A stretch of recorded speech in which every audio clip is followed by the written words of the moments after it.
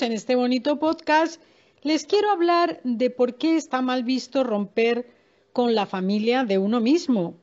Es el qué dirán, que pesa tanto en círculos sociales estrechos y llamados bien pensantes, ya saben, las apariencias de los narcisistas que son el 99% de lo que son, porque ellos no son nada.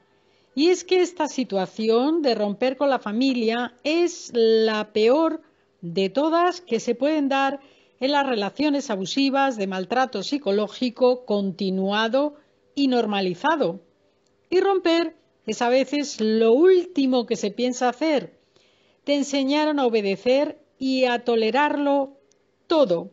Tolerancia a la frustración, nunca mejor dicho, queridos amigos, pero ya lo dije en otro vídeo se trata de abuso y maltrato psicológico encubierto, de manera que ojo con la tolerancia a la frustración. La familia es el escenario de llegada al mundo y quienes te traen a este mundo son presuntamente las personas a quienes se les presupone un afecto, amor, cariño entre la pareja y que traer al mundo un bebé supone también, presuntamente, una alegría, una bendición y una consecuencia deseable. Pero no siempre es así. No siempre lo que debería ser ideal para los implicados resulta serlo de facto y es ahí donde comienzan los pasos a seguir por esa recién formada familia.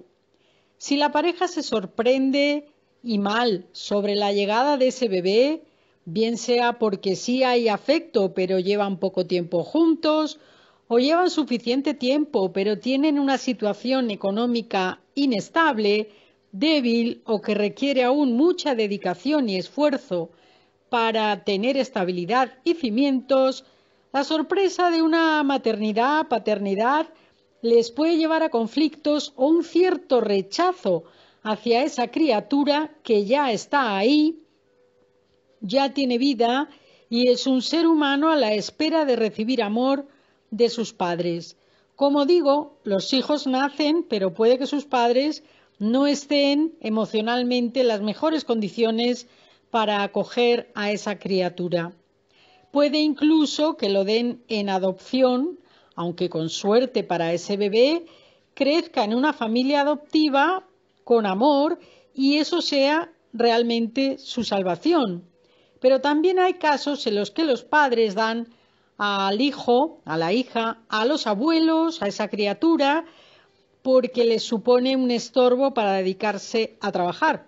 Hay miles de supuestos, queridos amigos, en los que los hijos llegan y no son la bendición que se supone que sean.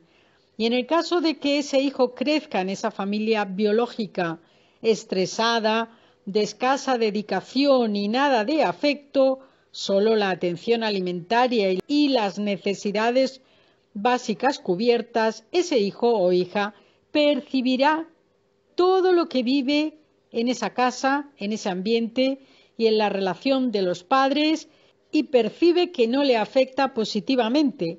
Es muy importante y decisivo que la pareja, los padres, tengan una buena relación entre sí y que el hijo perciba que así es.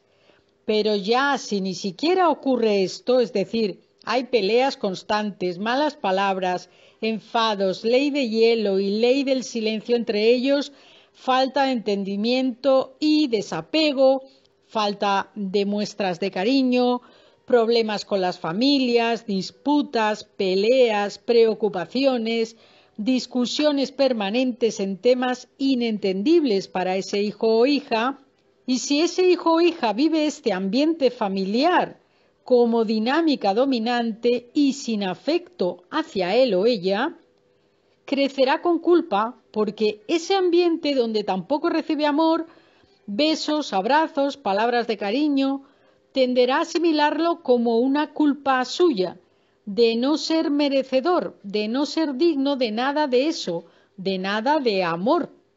Ese hijo o hija verá en otras familias que sí que hay un ambiente cariñoso, afectivo, donde hay risas, no burlas o sarcasmo, sino que hay risas, besos, abrazos, complicidad, buena vibración, pero no lo verá en su casa.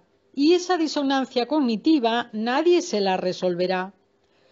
¿Cómo es que sus padres no se quieren? ¿Cómo es que mis padres no me quieren? Si yo no vine aquí porque quise, llegué aquí y ellos son mi ejemplo a seguir. Mi ejemplo, mis imágenes de amor y de apego naturales. Pues algo debe haber en mí que no les gusta, yo no soy como ellos esperan, yo no tengo lo que ellos esperaban, y así todo tipo de achaques, queridos amigos, se hará esta criatura en su infancia y en todo su crecimiento. Pero afuera sí que verá familias con amor, incluso cuando se muestran estas familias con algún problema, lo verá diferente, percibirá claramente que las preocupaciones se tratan de otra manera distinta. Y así crece, se sale al mundo, pero siguiendo en familia, donde toda esa dinámica tóxica aumenta se expande y pasan muchas cosas feas entre los miembros de esa familia. Se discute, se pelea. Hay grandes discusiones donde tus padres declaran culpables a otros o a todos y solo ellos tienen la posesión de la verdad y de la razón.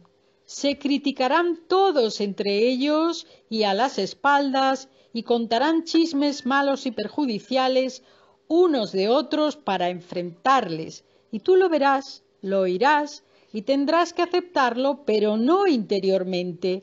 Interiormente lo rechazas. Interiormente sabes que todo eso ni es bueno, ni lo quieres, ni participas, ni te beneficia. Pero sigues ahí.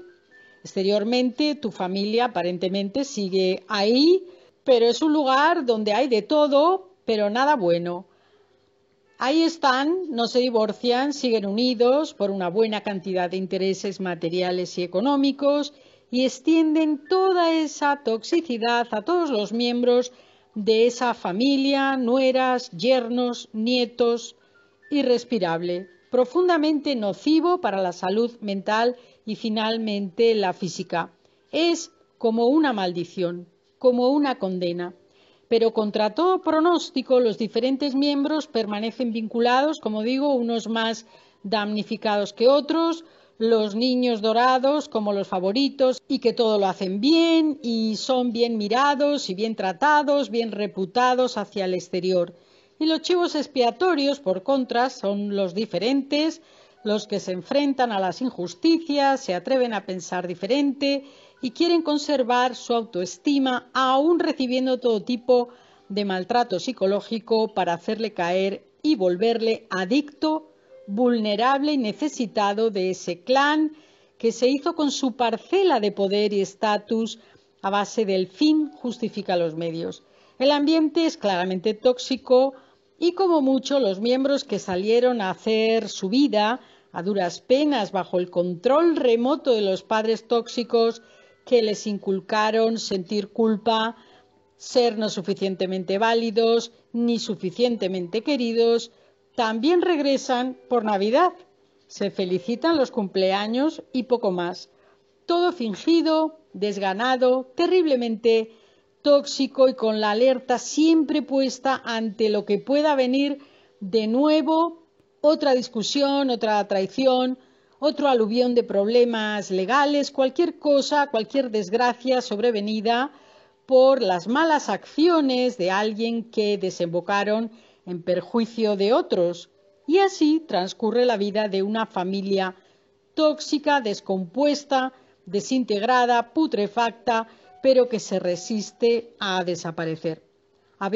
habrá miembros que tras formar su propia familia pudieron encontrar parejas amorosas con valores sanos que les ayudaron a salvarse y revitalizarse y también tuvieron hijos sanos, poniendo contacto cero y habiendo sido damnificados y formando parte de los conflictos familiares previamente, pero pudieron salvarse. Otros miembros no pudieron con tanta carga emocional y terminaron enfermando y desapareciendo prematuramente habiendo puesto contacto cero antes, inevitablemente, pero les llegó tarde y les llegó su final. Las familias tóxicas, queridos amigos, son una lacra para sus miembros, se perpetúa el mal durante generaciones y destruyen a todos y a cada uno por orden de empatía.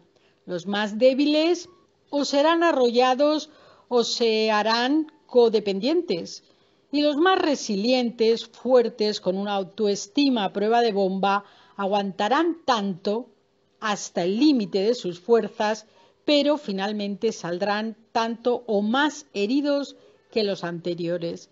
Quedarán en pie esos narcisos soberbios, orgullosos, manipuladores y despreciables por haber contribuido al mal en vez de a deshacer las batallas y mostrarse afecto verdadero.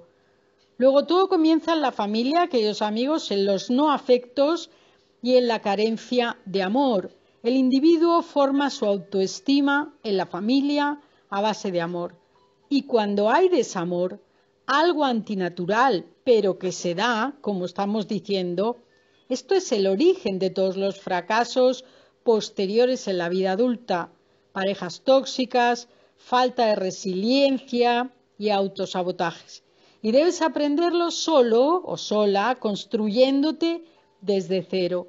La otra opción es ir por el camino de las adicciones, la delincuencia, el narcisismo, la psicopatía, todo ello aprendido a base también de poner el esfuerzo en eso negativo. Pero a estos miembros tóxicos que hicieron todo por destruir les llega su final un final inexorable y de nada habrá servido ir a misa diaria, cantar en el coro de la iglesia o criticar a los demás porque todo lo hacen mal y se condenan. ¿Se darán cuenta que lo hicieron mal? Pues seguramente no, es casi seguro que no, en absoluto, pero a estas alturas de destrucción de miembros de una familia, el hecho de que los demás lo vean feo o esté mal visto, queridos amigos, el hecho de salir de una familia y decir hasta aquí, nunca más, se acabó, ya no le importa a nadie. Cuando antepusiste la reputación del clan a la tuya propia y te pasaron por encima, ¿a quién le importa lo que digan los demás?